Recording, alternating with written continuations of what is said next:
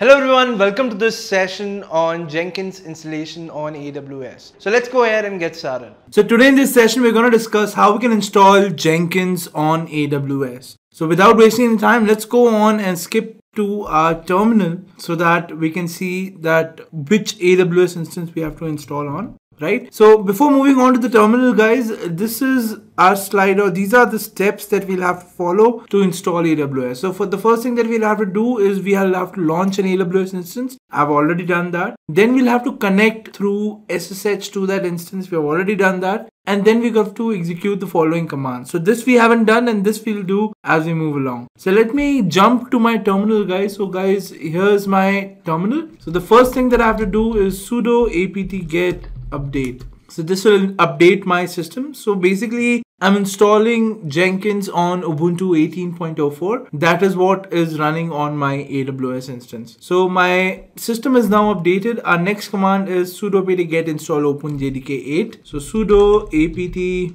get install open i've actually copied the commands over here as well so it's open jdk 8 jdk open jdk 8 hyphen jdk I'll hit enter and now this will install Jenkins. Our next step is to wget uh, a key which will be added to the repository. So let's do that. So we've copied the command and the moment it gets completed, we'll copy the command and we'll hit enter. Alright guys, the JDK is installed now. So now let's add the key to the repository. It says okay, which means the command executed successfully. Now let's download the binary file for Jenkins. So let me just correct this command let's copy this now paste it here hit enter. So yes this command is complete now. Now what we'll do we'll again update our machine which will now update the location for the jenkins setup. All right? So jenkins has been added right? And now let's install jenkins. Now this will basically install Jenkins on my system. So the moment it installs, I will check the uh, setup by going on to the browser. So we'll do that once this process is finished. Alright, so Jenkins is successfully installed now. Let's check the status of the service. So service Jenkins status, we can see it is in the active state. Awesome. So our Jenkins is now installed. Let's check this by going to our browser. So here's my browser guys. Here's the IP address. So let me copy the IP address I'll paste it over here colon 8080 hit enter.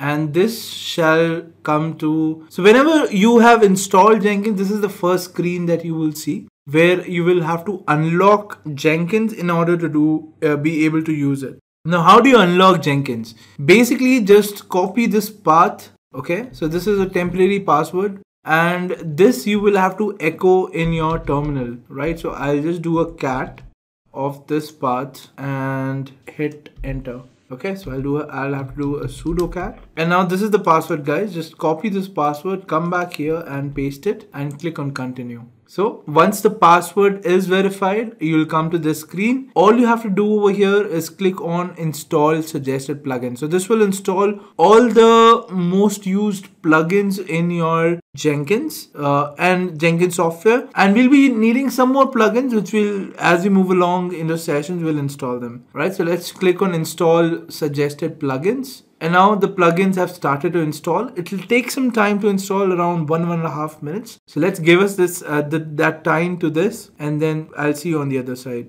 Alright guys, so as you can see the plugins have now successfully installed. In the next step, we'll have to fill out our information for the Jenkins installation. So let the username be Intellipaat.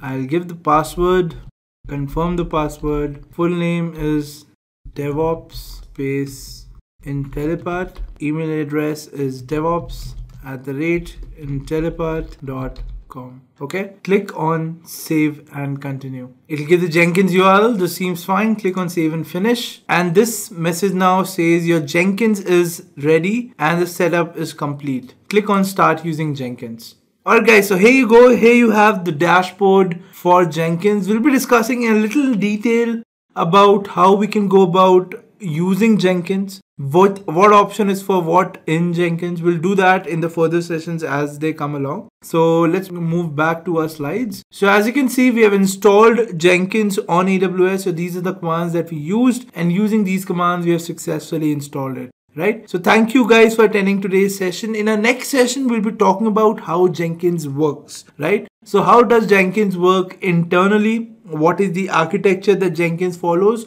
All of that will be taught to you in our next session. So see you guys in the next session. Have a great day ahead and goodbye.